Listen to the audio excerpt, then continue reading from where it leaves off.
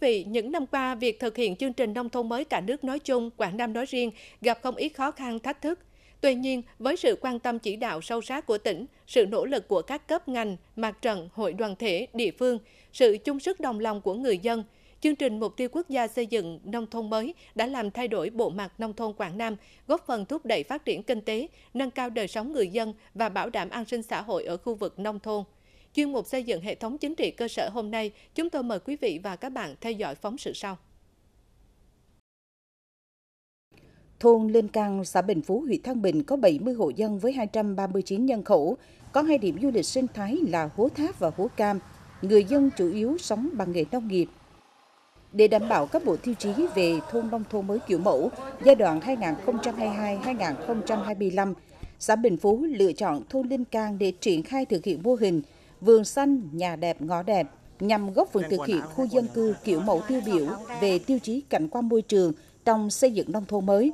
Đây cũng là mô hình thi đua chào mừng Đại hội đại biểu Mặt trận Tổ quốc Việt Nam tỉnh Quảng Nam lần thứ 11, nhiệm kỳ 2024-2029. Để phong trào xây dựng nông thôn mới thực sự đi vào chiều sâu, công tác tuyên truyền vận động đến từng hộ dân được cấp ủy đảng, chính quyền địa phương chú trọng. Từ ngày mà mà phát động cái phong trào mà vườn vườn à, vườn xanh nhà đẹp ngõ đẹp thì à, à, ban nhân dân thôn Linh con đã tiến hành họp và quân dân họp và họp dân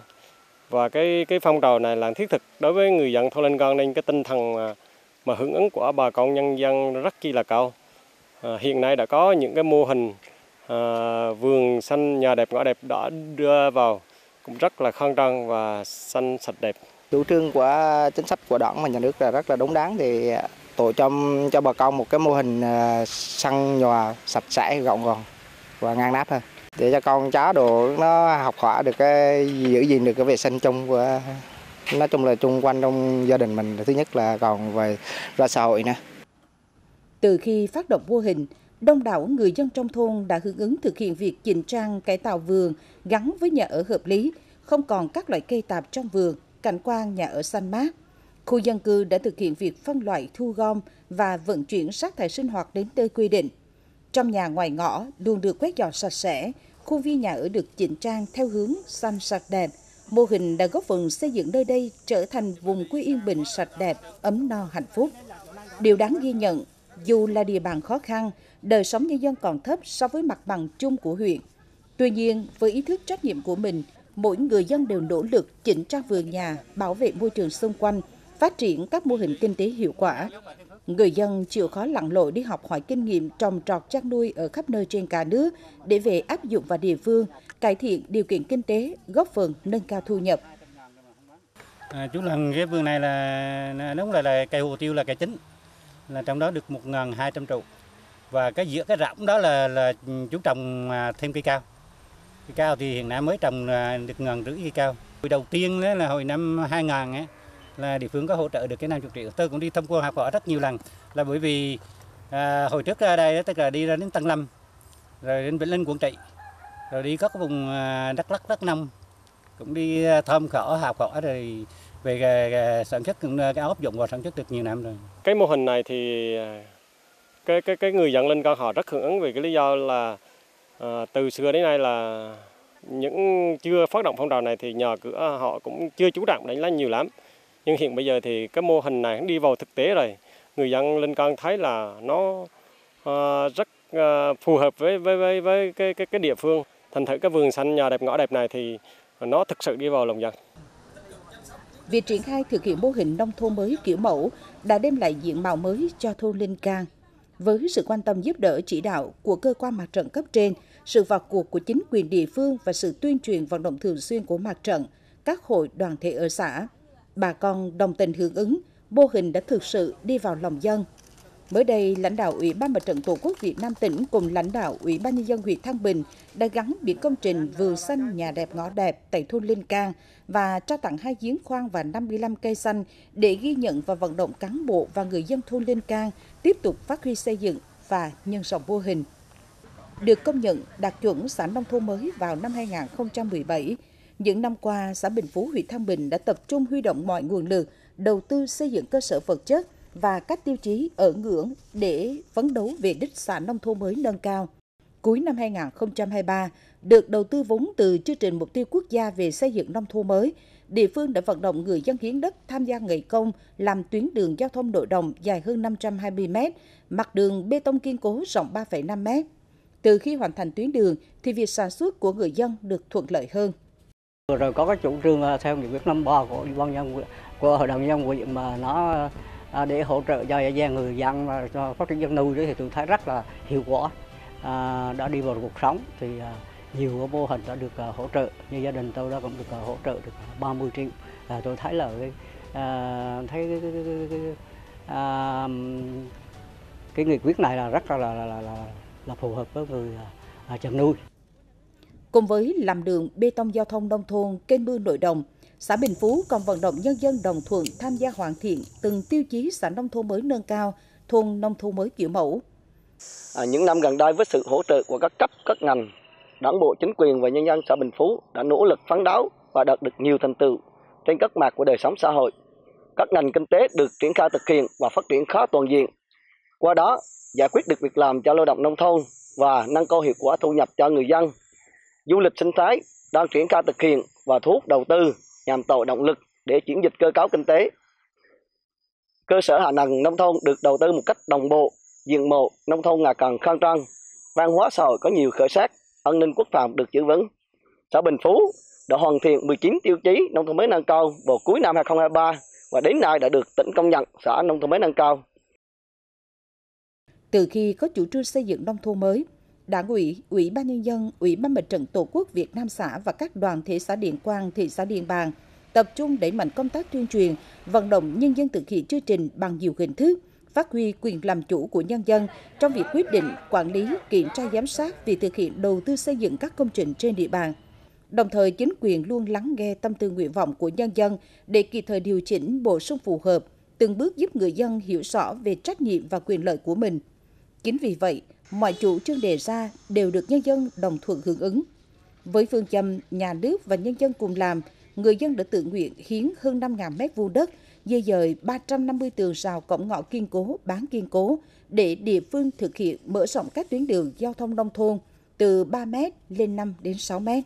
Khi mà có một cái chương trình nông thôn mới thì đường xá ví dụ như là cũng được xã hỗ trợ rồi thôn rồi cái mọi người dân thì cũng thấy cái mặt tiền hay là cái cảnh quan môi trường, hắn như rứa là người dân, họ cũng tạo điều kiện ví dụ như cổng ngõ, tường rồ rồi họ cũng kiên cố hơn, họ cũng muốn cho cái cảnh mẹt mình là cũng đẹp rồi có kiểu cái là mọi người là cái người ni thì hắn như rứa thì người khó họ thái như rứa họ cũng muốn phát triển hơn là cứ rứa là họ cố gắng cái là nhà mô cũng có tường rồi cổng ngõ kiên cố. Và bây giờ thì nói chung là cái kinh tế tế phát triển rồi à, đường xóa mở rộng thì vấn đề đó cũng làm cho họ tự, tự tin hơn thành ra họ cũng tin tưởng. Và vấn đề là ví dụ như là một cái chi đó họ đầu tư họ cũng thấy tin tưởng hơn thành ra là họ cũng không có chần chừ được. Còn phải ừ, lợi dụng cơ hội đó và phát triển xác định phát triển sản xuất, nâng cao thu nhập của người dân là mục tiêu nhiệm vụ trọng tâm của xây dựng nông thôn mới.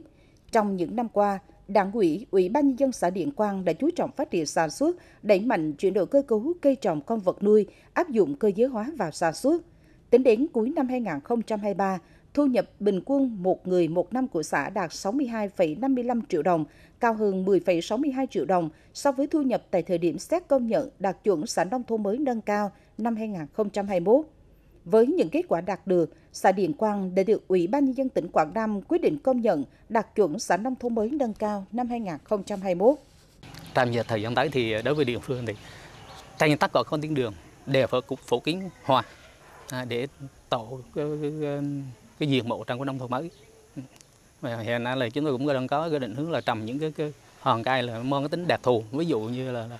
à, phải có một cái nét riêng của Ừ, tuyến đường đó. Và cũng vô cho từng tổ từng địa bàn để quản lý. À, ví dụ như tuyến đường phụ nữ tự quản là phụ nữ phải à, thường xuyên hoàn tuần hoàn toán là phải dành cho một thời gian là phải ra quân à, phải đỡ bộ trong cái à, cùng với người dân. Và cũng xác định là cái công tác mà tuyên truyền đến với nhân dân là công tác phải hoàn đạo à, tuyên truyền là, là, là rất quan trọng để người dân họ nắm bắt được cái chủ trương cũng như là cái quyền lợi người ta được hưởng. Cái nhờ cái sự quyết tâm của đảng chính quyền và nhân dân của xã Điện Quang. Mà đặc biệt á, là cái vai trò chủ thể của người dân. À, với quan điểm là dân biết, dân bàn, dân làm, dân kiểm tra, dân giám sát và dân thụ hưởng. Và với phương châm là nhà nước hỗ trợ nhân dân là thực hiện. À, đồng thời thì mua cái sự hỗ trợ của lãnh đạo của cơ quan cấp trên thì phải nói thì trong những năm qua thì cũng nhờ cái sự đóng góp của bà con đồng hương à, ở xa quê à, đây là cũng là cái nguồn lực rất lớn để mà giúp cho địa phương để đạt được cái xã nông thôn mới à, nâng cao cũng như là cái xã nông thôn mới kiểu mẫu cũng như nhiều nơi khi triển khai chương trình mục tiêu quốc gia về xây dựng nông thôn mới, huyện miền núi Bắc Trà My đã huy động cả hệ thống chính trị vào cuộc. Địa phương đã linh hoạt phát huy tiềm năng lao động, sự đoàn kết nhất trí trong các tầng lớp nhân dân, huy động được nhiều nguồn lực, tạo được phong trào thi đua xây dựng nông thôn mới. Tổng nguồn lực huy động thực hiện chương trình nông thôn mới trên địa bàn huyện giai đoạn 2021-2023 hơn 487 tỷ đồng huyện Bắc Trà My chú trọng phát triển hạ tầng kinh tế xã hội, đảm bảo kết nối nông thôn đô thị và kết nối các vùng miền. Bê tông hóa và cứng hóa mặt đường trên 260 km đạt 72,6%. Toàn huyện có 10 trên 12 xã đạt tiêu chí giao thông. Để có được những con đường giao thông thuận lợi, rất nhiều hộ dân trên địa bàn huyện đã hiến đất làm đường. Vì tương lai con cháu sau này, là họ có trường học này, họ có đường đi này, là có cầu đã có trường rồi, đã có đường rồi, đã có người trường người ta người học còn nhà tôi thì cả chồng cả vợ đi nhắc tí rồi chỉ đó là con hiến, hiến đất cho, cho, cho, cho, cho, cho nhà trường ừ, cũng nhà trường nó, nó, nó riêng rồi nhà nước nói chung. Ừ. thì nói chi nói là là là, là cơ bản là về, về tương lai còn cháu rồi. Thì à, tất nhiên là coi như việc là coi như giảm xuất vấn đề kinh tế. À, nhưng đó là cũng một phần là coi như ảnh hưởng đến kinh tế gia đình. Nhưng sang vì đó là một cái việc là chung à, của xã hội. Trong đó có một phần của cá nhân. Do đó là bản thân gia đình cũng như gia đình là cũng đồng tình. À, ủng hộ. Tập trung cho công tác tuyên truyền à, nâng cao nhận thức à, cái vai trò của người dân trong vấn đề là vai trò chủ thể, cũng giống như cái nhận thức của cán bộ công chức, viên chức từ tỉnh đến cơ sở, thậm chí đến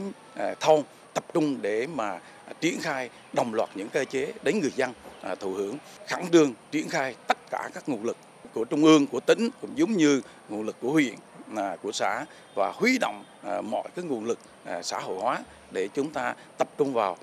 xây dựng cái bộ tiêu chí nông thôn mới cho từng xã phải lồng ghép toàn bộ mọi cái cái nguồn lực từ đầu tư công đến nguồn lực của chương trình cộng với nguồn lực xã hội hóa để chúng ta lồng ghép vào để đi vào cái thẳng vào cái mục tiêu là các bộ tiêu chí của xã nông thôn mới, xã nông thôn nâng cao và xã nông thôn kiểu mẫu. À, chúng ta phải khơi dậy À, cái tinh thần à, của đội ngũ cán bộ từ tỉnh à, đến cơ sở, nhất là cấp thôn để chúng ta có một cái trách nhiệm, có cộng đồng trách nhiệm và tâm huyết và nhiệt tình trong các vấn đề phong trào xây dựng nông thôn mới ở tỉnh nhà. Với quyết tâm cao, Quảng Nam đã đặt ra những mục tiêu cụ thể để phấn đấu năm 2024 có thêm 24 xã đạt chuẩn nông thôn mới, nâng tổng số xã đạt chuẩn nông thôn mới giai đoạn 2021-2025 lên 42 xã, đồng thời duy trì nâng chuẩn các xã đạt chuẩn nông thôn mới theo bộ tiêu chí mới, nâng tổng số xã đạt chuẩn nông thôn mới lên ít nhất 154 xã, chiếm tỷ lệ 80%. Để đạt được những mục tiêu này, bên cạnh nguồn lực đầu tư của nhà nước, thì việc tranh thủ huy động sự chung tay đồng hành từ phía người dân đóng vai trò vô cùng quan trọng.